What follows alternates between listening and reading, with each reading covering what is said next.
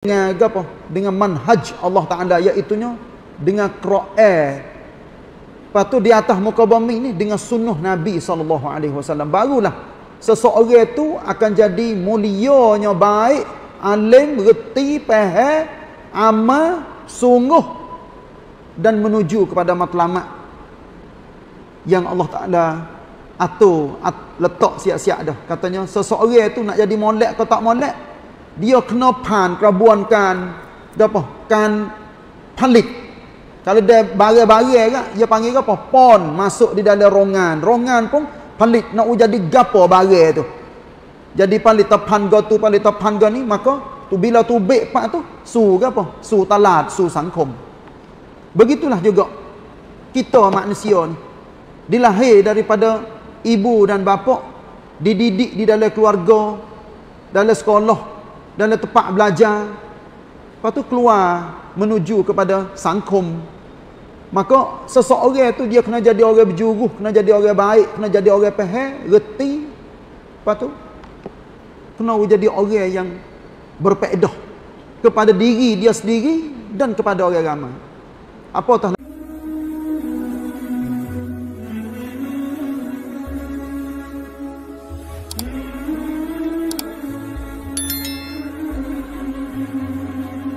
الله الرحمن الرحيم الحمد لله رب العالمين والصلاة والسلام على رسول الله صلى الله عليه وسلم وعلى آله وصحبه أجمعين السلام عليكم ورحمة الله وبركاته الحمد لله kita bersyukur kepada Allah Subhanahu wa taala pagi hari Jumaat masuk minggu yang ketiga di dalam bulan Safar tahun 1444 Hijrah. Alhamdulillah kita banyak bersyukur kepada Allah Subhanahu Wa Taala. Biasanya pagi hari Jumaat saya baca hadis-hadis dalam kitab Ma'alim As-Sunnah An-Nabawiyah. Tapi pagi hari ini kita masuk di dalam satu tajuk berhubungnya dengan proses pembentuk ke seorang manusia yang berkeper, berkepribadian yang mulia.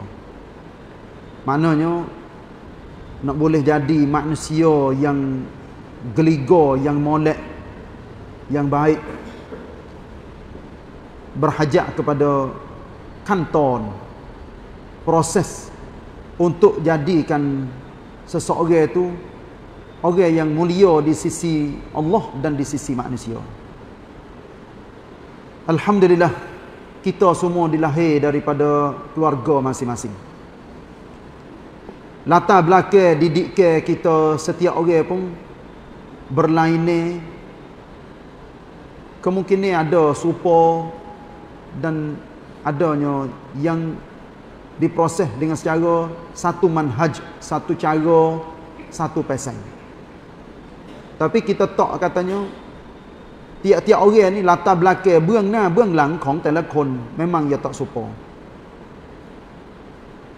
Lahir daripada keluarga yang tak serupa, didik pun tak serupa, faham pun tak serupa. Tapi kita orang Islam ni menuju kepada matlamat dan tujuan yang sama. Iaitu nak kepada redha Allah Subhanahu Wa Taala dan nak jadi seorang muslim muslimah yang sempurna di dalam hidup dalam semua tiap-tiap perkara mengikut Allah dan Rasul. Alhamdulillah. Nak jadi manusia yang geliga ni bukan payah sangat. Tapi bukan terlalu mudah sampai kau setiap orang boleh belakang. Sebab Allah Subhanahu Wa Taala dia pilih. Allah lagi royak di dalam Quran, "Inna Allah astafa." Sesungguhnya Allah memilih. Memilih di kalangan manusia di kalangan jin adanya beberapa ayat yang Allah puji hamba-hambanya di dalam Al-Quran. Allah astafa adam wa nuhan wa ala ibrahim wa ala imran ala alamin sesungguhnya Allah taala memilih adam memilih nuh memilih keluarga nabi ibrahim memilih keluarga imran yang lebih mulia di atas muka bumi.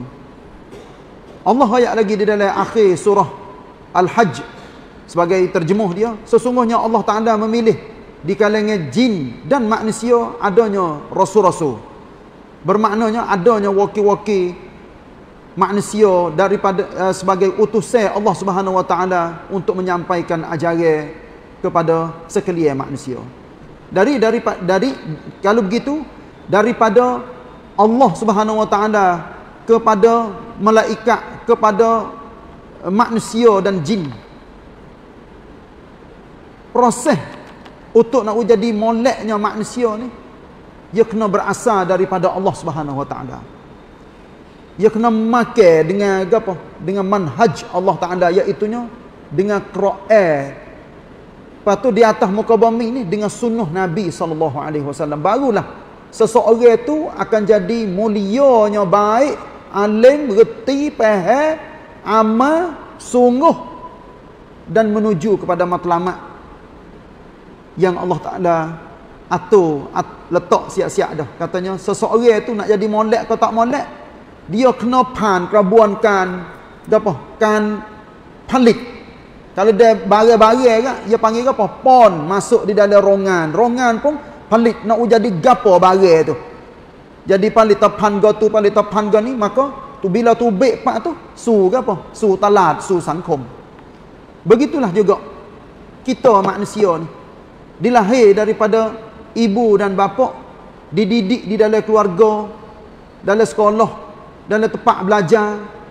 Lepas tu keluar menuju kepada sangkom maka seseorang tu dia kena jadi orang berjuruh kena jadi orang baik kena jadi orang faham reti lepas tu kena jadi orang yang berpeedah kepada diri dia sendiri dan kepada orang ramai. Apatah lagi orang yang faham agama, orang yang reti tujuan hidup di atas muka dunia yang sebenar. Nak pergi ke mana? Dia kena tanya diri dia semua, aku ni siapa? Setiap orang kena tanya diri masing-masing, aku siapa? Mari ke dunia, mari buat apa? Nak pergi ke mana? Mari nak buat apa?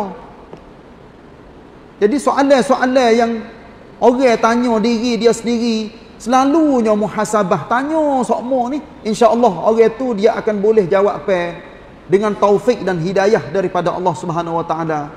Dan saya yakin bahawa orang apabila ditarbiah ataupun dididik dengan secara baik, secara betul, bersih, maka jiwa orang tu, hidup orang tu akan jadi bersih, akan jadi molek. Bukan mudah dah benda-benda pasal ni. Bukan benar biasa. Seorang manusia nak boleh jadi geliga, nak boleh jadi molek hidup dia tu. Kena pan ron, panau, net nuai, letih tak rok gotu gani gotu gani barulah dia berjaya. Tu pun bukan arti katanya berjaya pak tu. Sampai kau bila-bila dia kena istiqamah. Kena sokmo-sokmo hidup.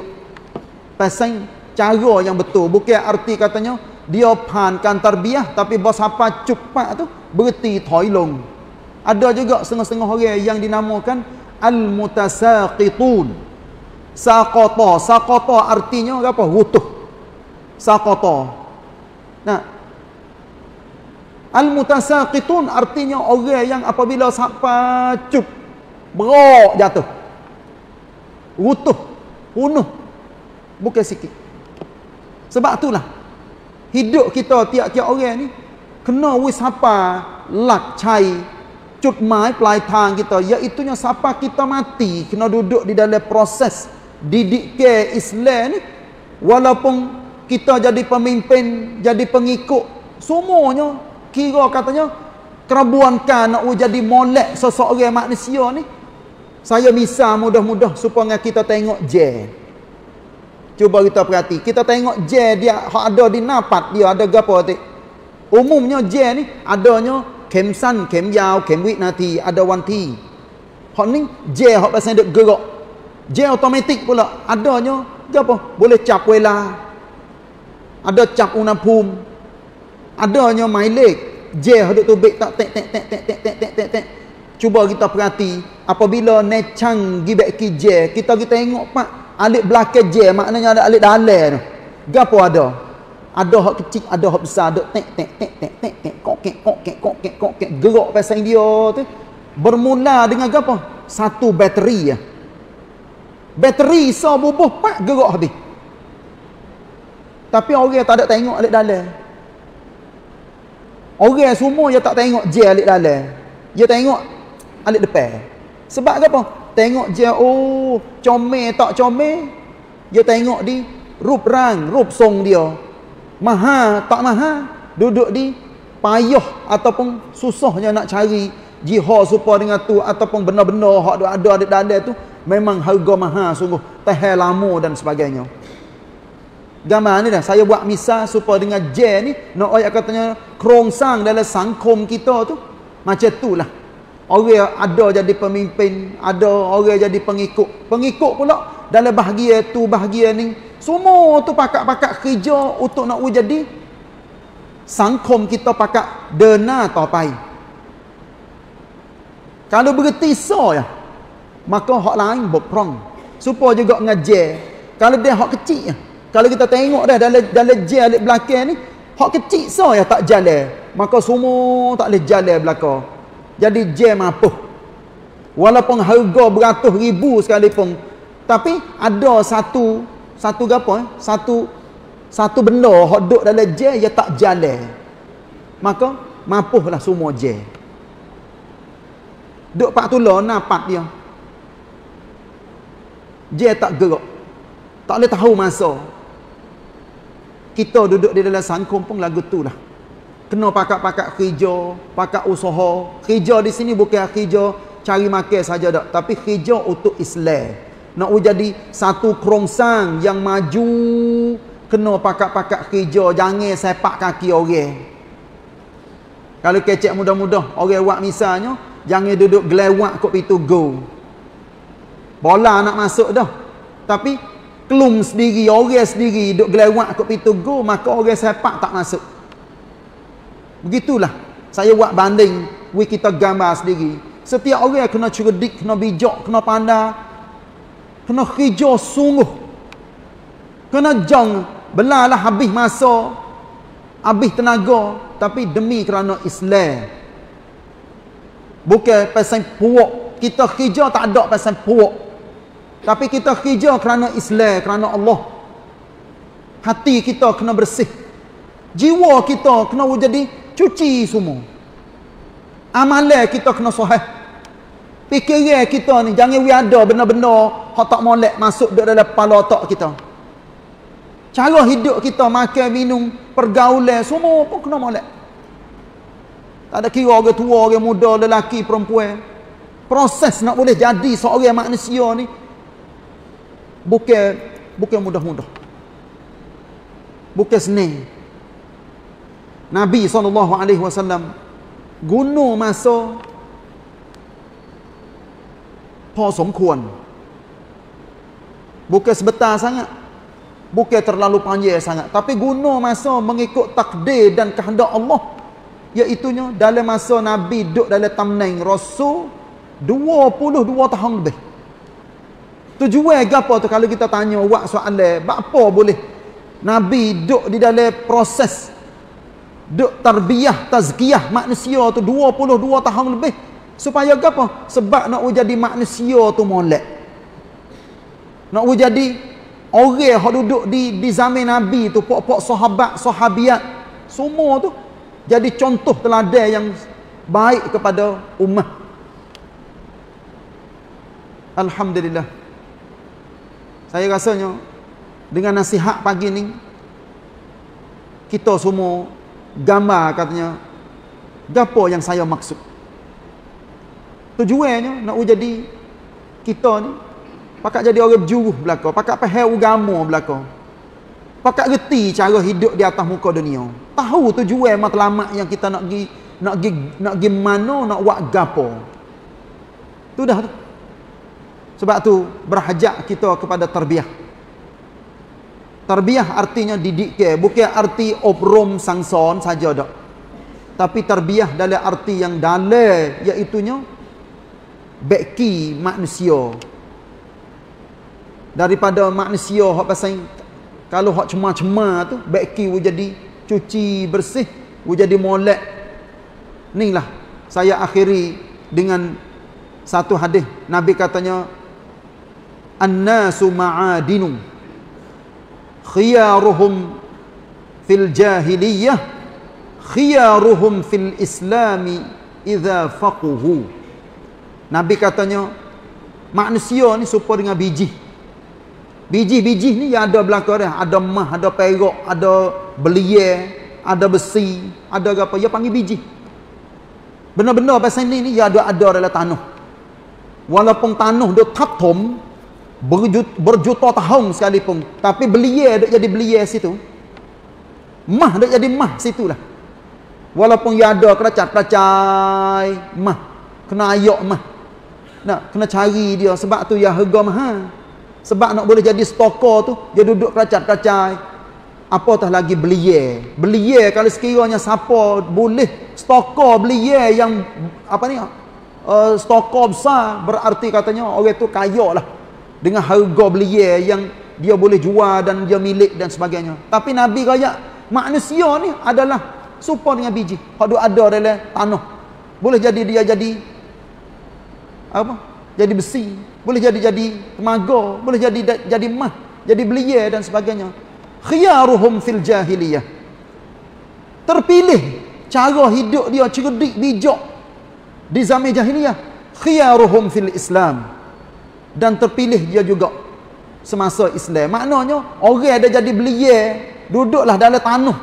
Lama mana sekalipun, tapi bila dicebok dia ambil, mari basuh ciranai semula, we jadi molek, jadi rupsum.